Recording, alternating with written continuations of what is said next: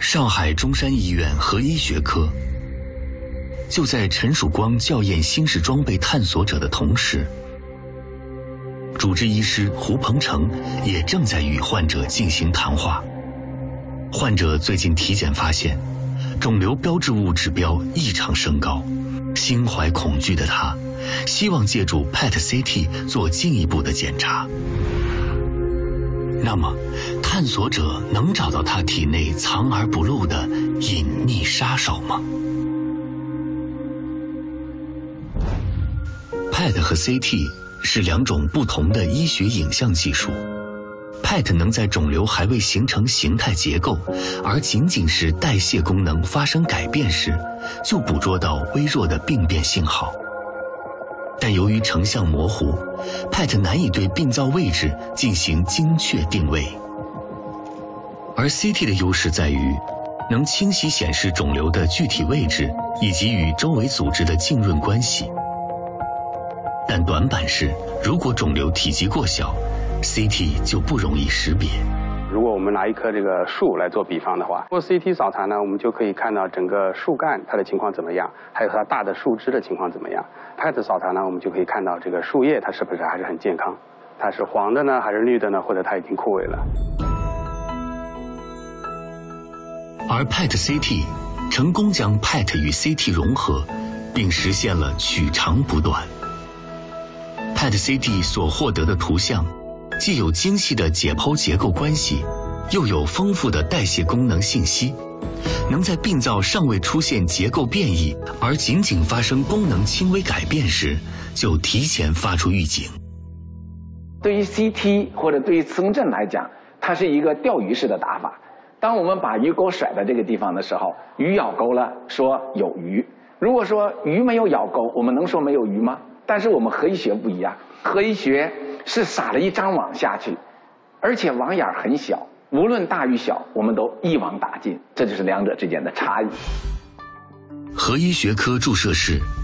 护士正在为即将做 PET-CT 扫描的患者注射药剂。与注射其他药剂不同，护士是隔着墙，双手通过两扇小窗来操作。并且药剂被装在一只钨合金的防护套内。原来，这是一种放射性药物，被称为示踪剂。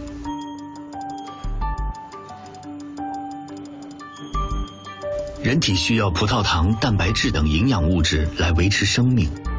示踪剂就是将营养物质标记上放射性元素的一种特殊药剂。示踪剂注入人体后，会通过静脉血管流经全身，同时会在肿瘤细胞附近大量聚集。肿瘤细胞它要生存生长，它的能量来自哪儿？它吸收葡萄糖，相对于正常细胞来说，它的代谢会更加旺盛。示踪剂就是根据这肿瘤细胞的这个葡萄糖的一个代谢的一个旺盛程度来进行一个浓集。PET-CT 正是通过对示踪剂浓集状态的影像显示，给临床医生提供科学直观的依据。然而，传统的 PET-CT 由于受机身长度的影响，并不能一次覆盖全身。传统的 PET-CT 呢，轴向视野只有十五到三十公分，所以它扫描的时候呢是分床位来扫描的哈，比如先扫头，再扫肺部，再扫腹部啊，一床一床的下来啊，扫描速度就受影响。分床扫描带来的问题是，扫描时间要长达二十至三十分钟，患者因此要被注射较高剂量的示踪剂，而示踪剂因含有对人体有害的放射性物质。所以，像孕妇、儿童等人群就被排除在这项检查之外。现在，注射了示踪剂的患者被缓缓送入探索者深邃的孔腔。深邃，正是探索者在外观上与传统派的 CT 最显著的区别。孔腔长度由原来十五至三十厘米扩展到两米，能容纳整个人体进入孔腔，一次完成全身扫描，并且扫描时间最短仅为三十秒。因此，示踪剂的注射剂量最低可降至传统 PET CT 的四十分之一。这样，母婴和青少年人群也能接受这项检查了。全称叫全视野动态 PET CT，因为它已经颠覆了传统的 PET CT 的一个采集模式，提供了一个非常有效而且非常具有未来探索性的一个一个工具。扫描即将开始，探索者将以短短三十秒时间，全程捕获示踪剂在人体内流动、扩散、被组织摄取并代谢的完整信息，获得包括诸多细节在内的全身影像。那么，让患者倍感恐惧的肿瘤细胞，到底隐藏在他身体的哪个角落呢？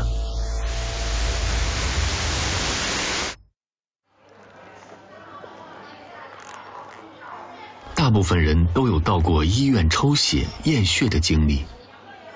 以抽血这一最小的创伤代价来获取机体内部的隐秘信息，比如血糖是否偏高，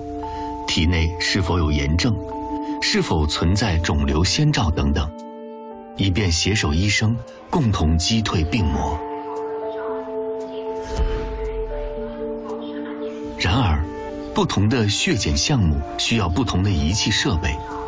人们因此要被抽取数管血液，并等待较长时间，才能获得期待中的验血报告单。不过现在，这个现象正在被打破。